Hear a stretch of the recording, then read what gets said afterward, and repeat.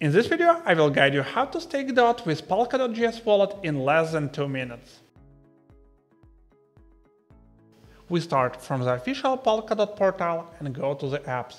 First of all, let's go to the account section and check the balance. Okay, I see both of my accounts with the correct amounts of DOT. Then we are heading directly to the network tab and choose staking. Let's hold for a while and I will explain what roles in the staking process are taking place. That's validator and nominator. Validator is a role for users who run a node and helps to secure the network.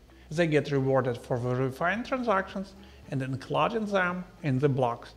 To do so, they must ensure their honest behavior with financial guarantees or staked dots. A nominator is a user like you who bonds your DOT tokens with some trustworthy validators and shares the staking rewards with him.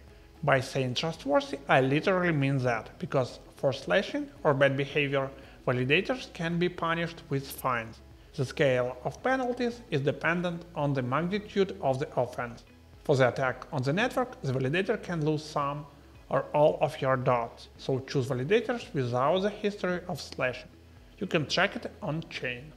Alright, we go to the Targets tab. Here we can see the network statistics, percentage of staked dots, actual staking return, and the list of validators. We can sort them by several criteria. Do not show validators who charge more than 10% for their service. Also, let's remove oversubscribed validators. So I go back to the staking section, click the account tab and choose add nominator. Here I need to select the stash and controller account. It's better to consider that stash is a kind of a cold wallet and controller is a hot wallet. The minimum amount for staking currently is 10 DOT. Remember always to leave some small amount of DOT to cover the gas fees. Unstake it I can at any moment, but they are frozen for 28 days. Only after that period I will be able to withdraw them. Also we need to select where do we want to get rewards. Alright, I click next. At this step, I should select the validator. For example, I will choose Everstake. I click bond.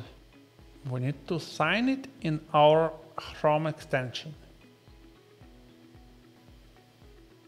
Awesome! We staked our dots, waiting for nomination, and we'll start to receive rewards from the next era.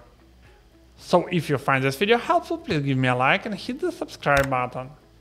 Please tell me where you stake your dot and how you choose the validator in the comments. See you on Web3. Bye.